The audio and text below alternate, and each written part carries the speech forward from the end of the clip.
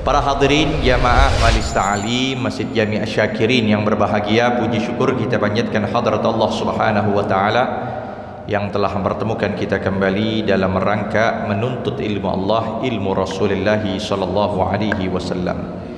Kita lanjutkan kembali pembahasan di dalam kitab Fathul Ilah pada halaman 60 sedikit kita murojaah mengulang kembali fasal yang sama tentang hal-hal yang disunnahkan setiap orang yang sholat selepas mengerjakan sholat.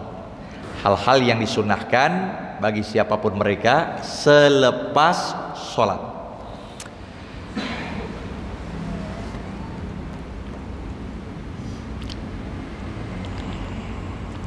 Langsung saja diterangkan. Bismillahirrahmanirrahim. Qala al-musannif rahimahumullah wa nafa'na bih wa bi ulumihi fid daraini amin radhiyallahu taala anhu. Yundabu adzikru wad du'a akibas salati. Disunahkan kita berzikir dan berdoa. Kapan? Akibat arti akibat langsung. Jadi tidak tulul fasli tidak panjang kalau memang panjang selepas sholat ngobrol.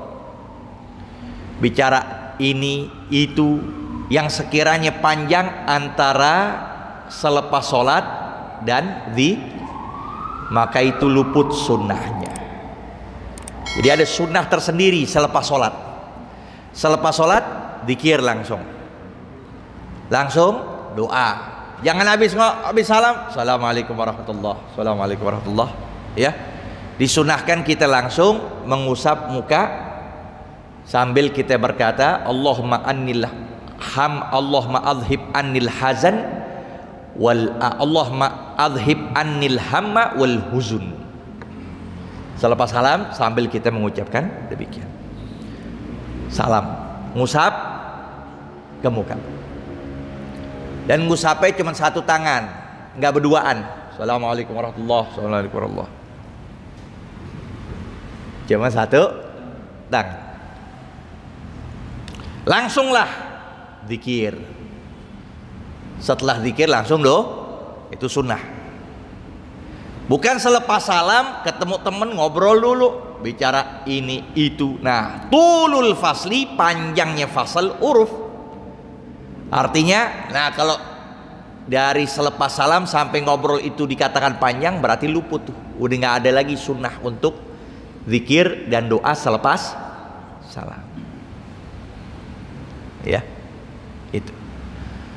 Melainkan di dalam Jumat. Dalam Jumat disunahkan selepas salam langsung kita baca tujuh tujuh tujuh. Baca Fatihah tujuh kali, baca Al-Ikhlas tujuh kali, baca Al-Falaq tujuh kali, baca An-Nas posisi kakinya dalam keadaan tasyahud akhir. Jangan bersila. Karena disebut dalam riwayat Ibnu Sunni man qara'a sab'an sab'an sab'an.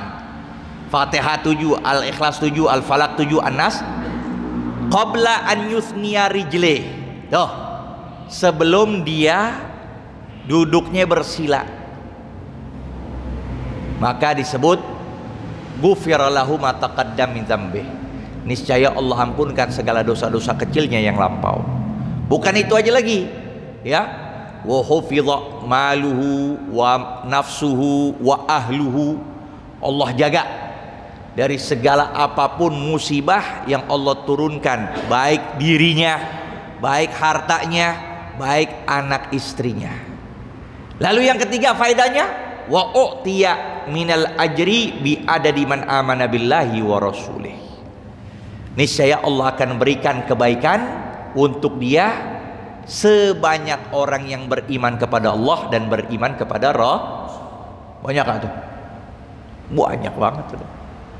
Jadi selepas salam nggak zikir. Selepas salam nggak langsung doa. Tapi langsung baca Fatihah 77 khusus selepas sholat Jum Imam nggak ngerjain ya udah kita sendiri. Ya. Makmum nggak ngerjain, ya udah imam kerja sendiri. Jangan ngelihat si makmum, waduh bubar, pikirin. Jadi pikirin si makmum. Kerjain aja sunnah Nabi. Ya. Itu akibat sholat, selepas sholat. Wa yusirru dan hendak jangan diangkat suara selepas salam. Isror. Diem. Baca dalam hati baik makmum, baik imam, baik sholat sendiri. Jadi zikirnya itu isror, tidak diangkat. Tapi dalam ha, itu artinya. Illa melainkan al imam al murid, melainkan imam yang berkeinginan taklim al hadirin, mengajarkan orang-orang yang jadi makmum yang hadir. Apa pemahamannya? Tiba-tiba selepas sholat imam berdiri, nggak kuat, mau pipis, dia berdiri langsung, kosong nggak? Oh, udah diem semuanya. Nggak ada diangkat suara zikir, nggak diangkat suara do, diem semuanya. Ya. Melainkan si imam. Selepas salam kan banyak zikir yang dianjurkan kita baca ya kan takut si makmum ini belum paham orang awam ya kan maka dibaca dah selepas salam salat subuh la ilaha illallah wahdahu la syarikalah lahul mulku wa lahul hamdu yuhyi wa yumitu wa ala kulli syai'in qadir pakai yuhyi wa yumit. Sebanyak berapa? 10 itu kan belum tahu kadang imamum ya kan? Maka diajarkan. Itu dia. Terus dianjurkan pula kita baca uh, apa namanya Allahumma a'ini ala zikrika wa syukrika wa husni sampai Sayyidina Mu'adz bin Jabal Nabi menyatakan ya Mu'adz ini la uhibbuk Wahai Mu'af, sungguh aku cinta kepada kamu. Ya. Cinta ke kepada kamu enggak menjadikan kamu itu berpengaruh kalau tidak dengan amal. Jadi Nabi menyatakan aku cinta kepada kamu fala tada'anna kulla duburi shalah bi antakula Allahumma inni ala dzikrika wa syukrika wa husni itu maksudnya Aku cinta kepada kamu. Maka Nabi melanjutkan kembali. Nabi arahkan. Hendaklah engkau senantiasa mengucapkan selepas sholat. Allahumma ini ala zikrika wa syukrika wa husni. Biar ya Allah berikan bantulah aku untuk senantiasa mengingat kepada kamu. Bantulah aku untuk senantiasa mensyukuri kamu.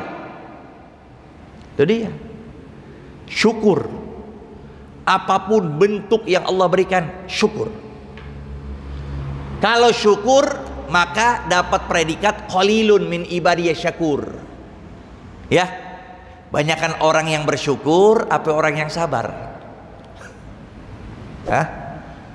Banyak orang sabar. Kalau sabar lus dada. Sabar. Tapi kalau syukur masih bisa senyum. Dengan derita apa pun. Masih dilihat orang mulia dengan sebab syukur. Maka qalilu min ibadiyah syakur. Sedikit dari hamba-hambaku yang pandai bersyukur bersyukur. Kadang musibah yang tertimpa sama kita kita nggak ngucapin alhamdulillah. Jadi orang taunya alhamdulillah identiknya dengan susah. Eh apa? Senang. Ya. Orang identiknya mengucapkan alhamdulillah dengan kesenangan, kegirangan, gembira, iya kan? Tapi kalau lagi sedih, ucapin alhamdulillah. Ucapin Karena Allah pantas dan layak untuk dipuji baik dalam keadaan suka atau dalam keadaan duka. Alhamdulillah ala kulli hal. Puji syukur pada Allah atas setiap keadaan. Wah hebat tuh baca. ya wa husni ibadatik disuruh tuh dan ya Allah bantulah aku untuk bagus ibadahku kepada kamu biar bagus karena diinginkan dalam agama kita bukan banyaknya tapi bagusnya. Ini ngaji begini. Bagus sepekan sekali. Mata melotot nyatet. Ya. Betul. Ketimbang setiap hari ngaji ya bengong aja megang handphone. Yatin. Apa yang diajarin? Au. Kitabnya apa? Au. Nggak tahu tapi yang kita pikir yang kita inginkan tahsinul amal khairun min takthiril amal kualitas lebih bagus ketimbang kuantitas Nah, fayajharu ila an yata'allamu maka dia mengangkat suara. Nah, inilah yang dipakai oleh mazhab Syafi'i. Hamlul hadis ala jahar. Angkat suara ketika zikir selepas oh, salat. Wa yuqbil alal ma'mumin. Nah, udah. Nah, belum belum selesai itu, ya.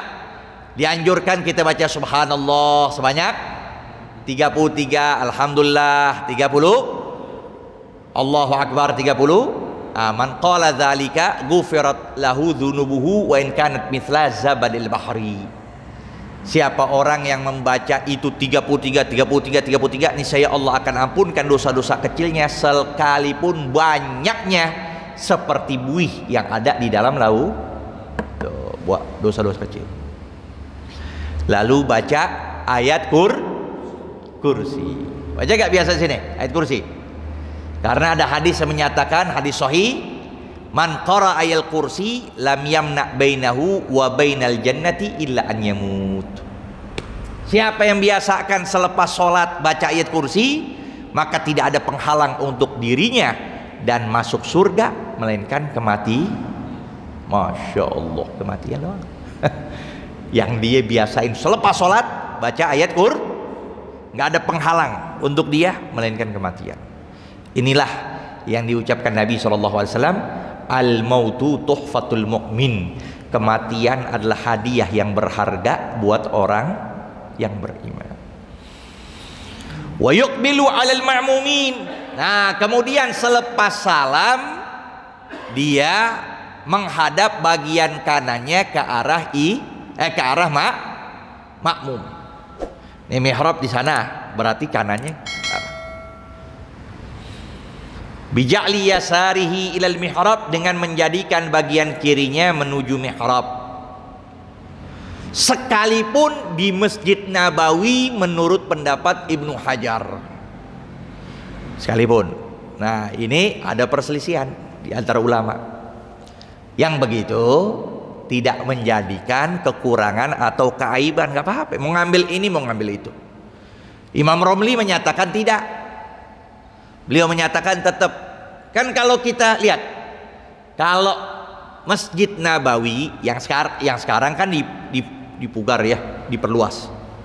Tapi yang dulu itu Masjid Nabawi kan posisi sebelah hujrah Nabi, Raudhah. Ya kan? Jadi kalau gimana? Di sini ini makam Nabi. Tuh. Paham? Ini kiblat ke sana. Kalau selepas sholat, dia ngadep sana. Betul kan? Berarti kanannya ngadep pak Otomatis dia ngebelakangin. Tuh lihat tuh. Ngebelakangin. Dari makam Nabi Alaihi Berarti palanya Nabi tuh. Iya kan? Berada di belakang dia. Lihat. Sini Nabi. Dia begitu jadi. Paham gak tuh? Menurut Ibnu Hajar sekalipun di Masjid Nabawi. Tapi menurut Imam Ramli ya sebaliknya.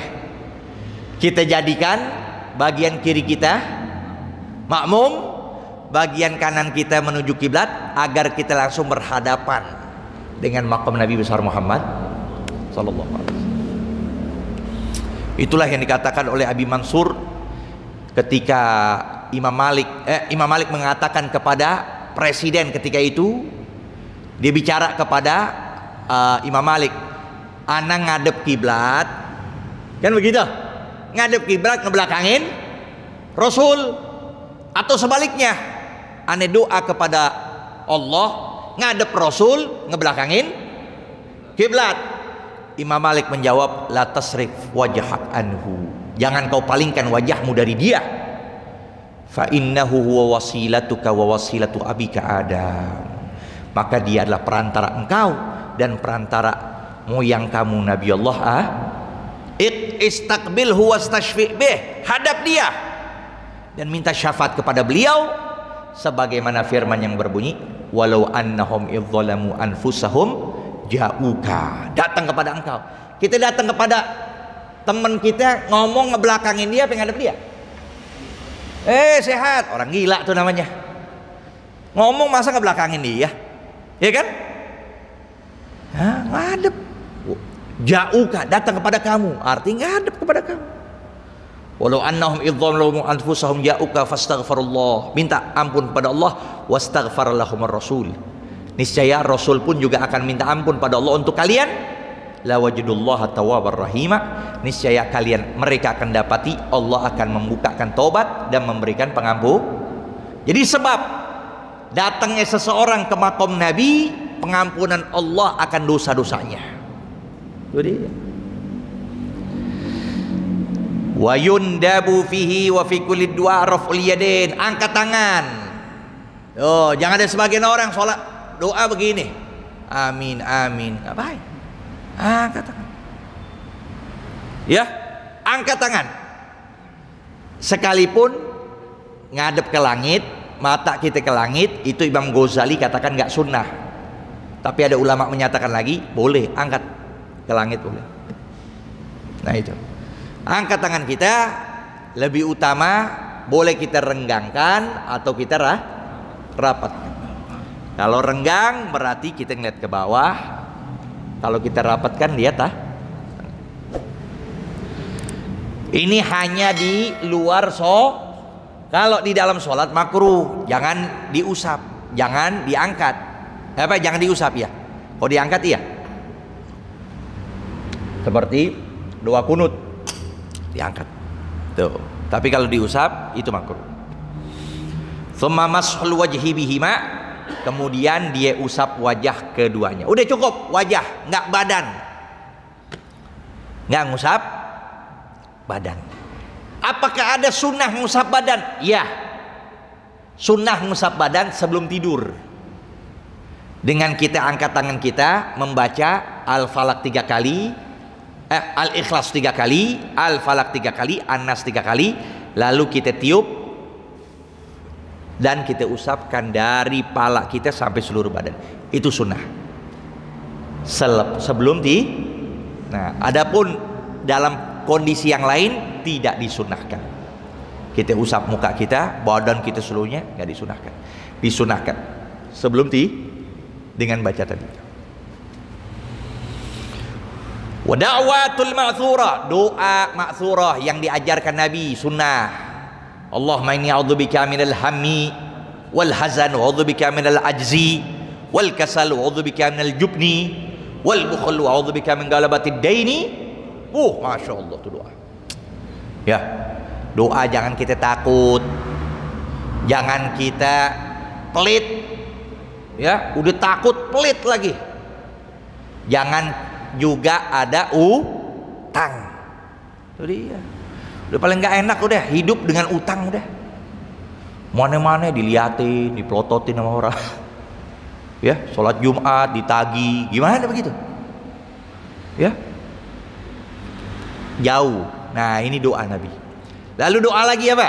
Yang paling luar biasa. Allahumma inni as'alukal afwa wal afiyah wal mu'afatat daimah fid dini wa dunya. Allah itu. Dan yang terakhir doa sapu masjid. Ya.